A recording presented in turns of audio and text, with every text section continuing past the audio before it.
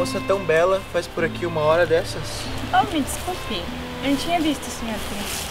Nunca tinha percebido essa beleza por essas redondezas. Você vem sempre aqui?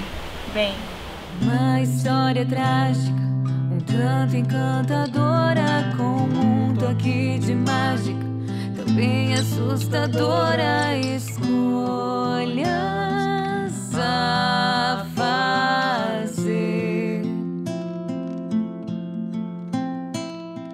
Olhares e desejos não mostram a verdade por trás de um coração.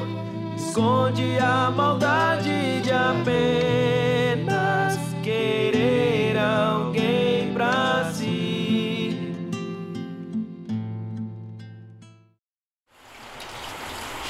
Você o novo cavaleiro chegará à vila. Sério? Sim. E como que ele é? Além de ser extremamente charmoso, ele comprou uma mansão Pemberley. Nossa, mas essa mansão é a com mais atributos entre todas as outras da vila. Só alguém muito afortunado teria a capacidade de conquistar tal palacete. Sim, ele é exatamente essa pessoa. E além disso, isso é uma grande futilidade. Bom dia, senhorita. Bom dia, Teodoro. Com licença, mas a senhorita está a fazer algo durante as noites? Não. Mas por qual razão você acha isso? Nada, apenas uma sensação. Bom dia, senhor. Bom dia. Soube que teremos um novo morador na vizinhança?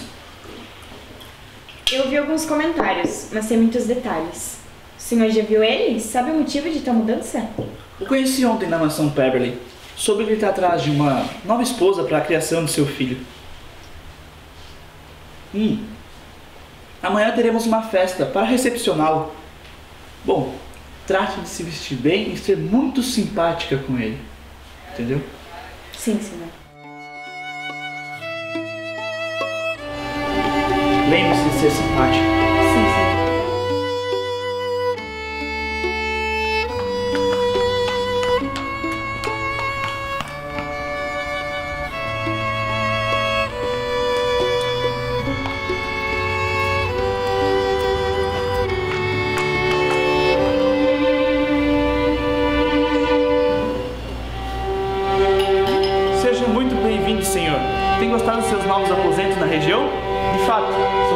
Agradáveis e aconchegantes. Deixe-me apresentar ao Sr. Berbrook, ele é quem organizou a festa. Olá.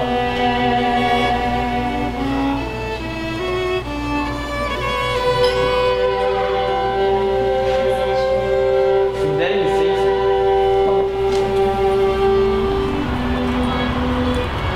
Nenhuma das estrelas desse céu possui um brilho tão lindo quanto seu olhar. A princípio me chamo Vicente. Me daria a honra de saber o nome desta linda senhorita. Eu me chamo Yara, mas também sou conhecida como a filha do Demônio.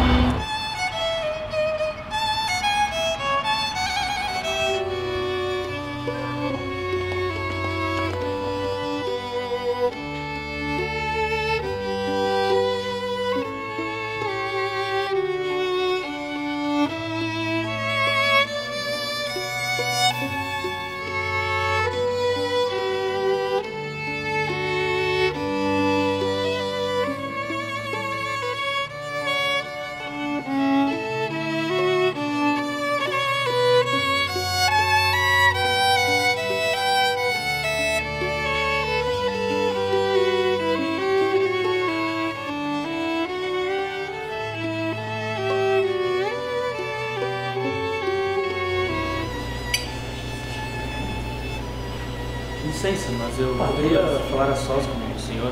Claro, vamos. Então? Bom, eu gostaria de pedir a mão da sua filha em casamento. O mais rápido possível. Eu não esperava que fosse assim, tão rápido, tão depressa, mas. Bom, quanto antes melhor, podemos agilizar. Negócio fechado então? Com certeza. Bom dia, senhor. Bom dia! Um ótimo dia, não? O senhor está bem? Melhor do que nunca. Saiba, menina, que daqui a dois dias você vai se casar com Vicente. O quê? Você não pode estar falando sério. Mais sério do que nunca! Ontem ele me procurou no final da festa e fez a proposta. Caso você aceite e realmente aconteça, é, nós nunca mais iremos nos precisar se preocupar com problemas financeiros. Ou seja, recusar não é uma opção. Entendeu, Yara?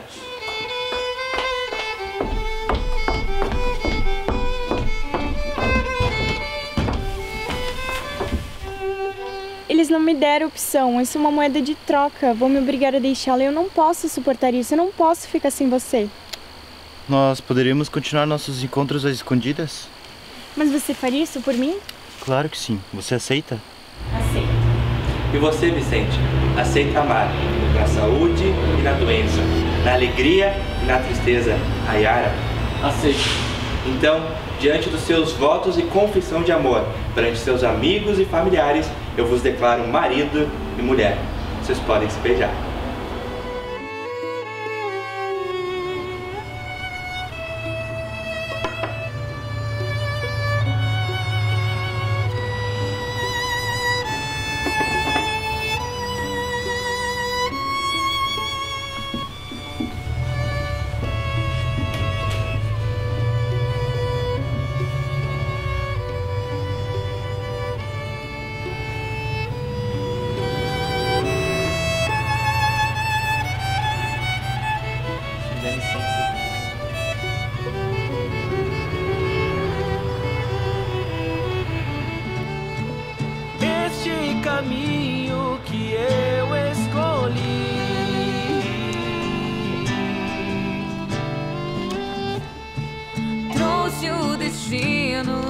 Coube a mim. O tempo tem seu próprio caminho e é como um rio que carrega lembranças sem voltar atrás. Tem certeza que não vai tomar seu de jejum hoje, senhora? Não, eu não estou me sentindo muito bem. Muito obrigada.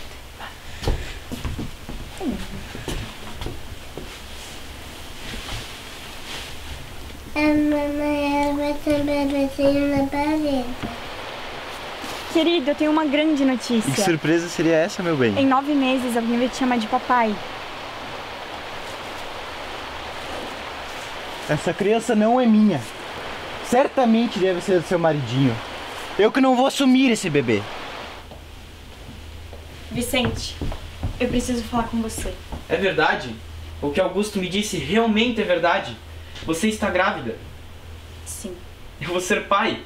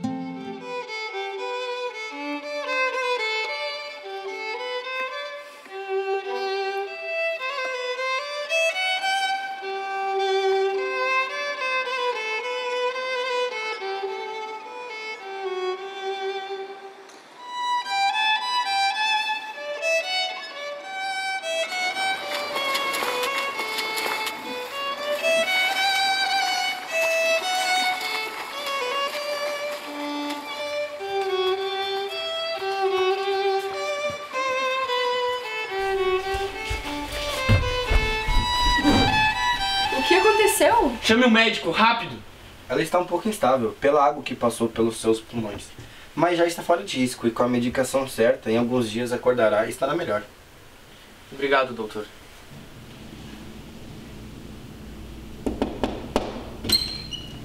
Com licença, a senhora Yara acabou de acordar. Certo, já estou indo. Você perdeu a cabeça quando fez isso? Não pensou nos seus filhos? Mas foi um acidente. Acidente? Você não tem vergonha de agir desta maneira? Eu estou cansado das suas mentiras. Você estava atrás dele de novo, não é? O Boto nunca sairá da sua mente. Aproveita e conta para Alice que ele é o pai dela, e não eu. Não, isso não é verdade. Mas Yara, eu sou infértil. Mas, mas e o Augusto? Ele não é seu filho? Óbvio que não. Como você nunca percebeu que ele é adotado? Somos completamente diferentes. Alice, Filha, É melhor deixar ela aí. Ela está de cabeça quente, precisa ficar sozinha.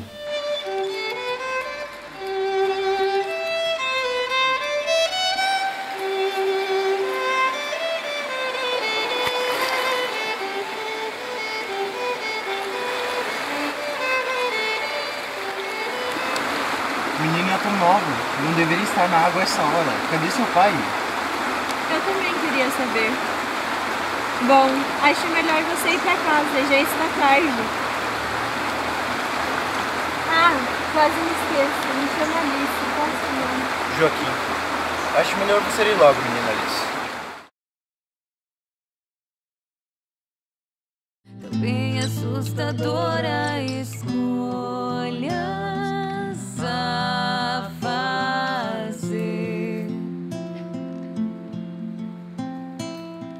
Olhares e desejos não mostram a verdade por trás de um coração. Esconde a maldade de apenas querer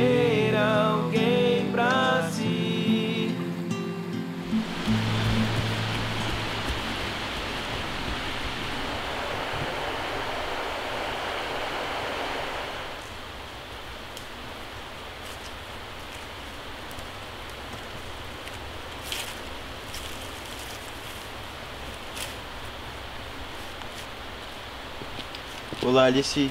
Me desculpe a demora. Acabei me enrolando com o trabalho. Tudo bem. Não pode ser.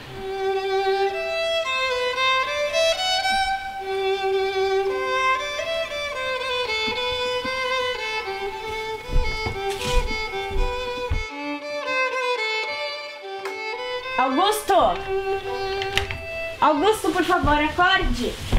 Meu filho, Vicente e Alice sumiram e eu não sei pra onde eles foram. Calma, eles devem estar lá fora. Vamos encontrá-los. Você não acha que já foi o suficiente o que você fez? Ela pode ser sua filha de sangue, mas é a minha filha de verdade. Porque fui eu quem a criou. Você abandonou ela sem nem ao menos conhecer. E ainda tem a coragem de se encontrar com ela durante as noites. Como se tivesse feito algo por ela quando precisou.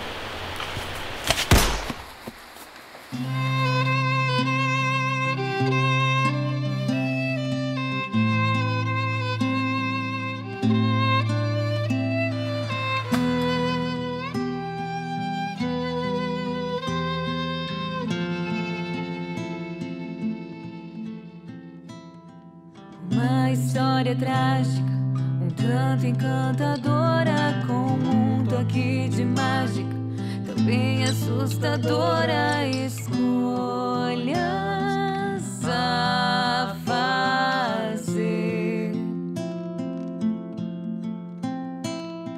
Olhares e desejos não mostram a verdade por trás de um coração.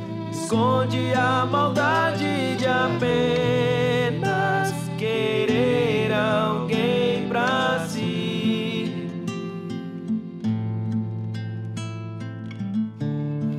Este caminho que escolhi seguir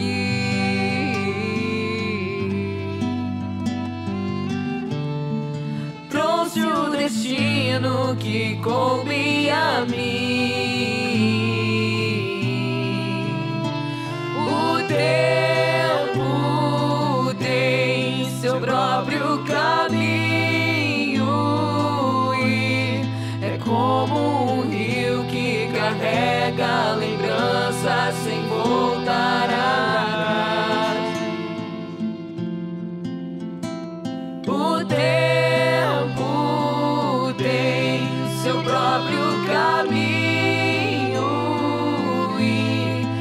Como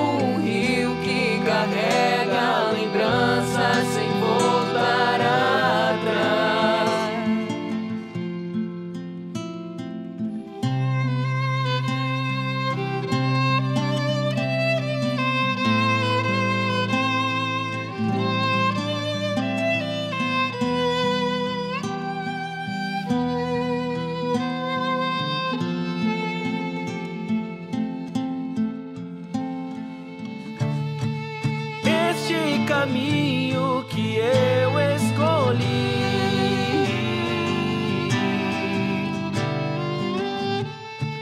Trouxe o destino que coube a mim.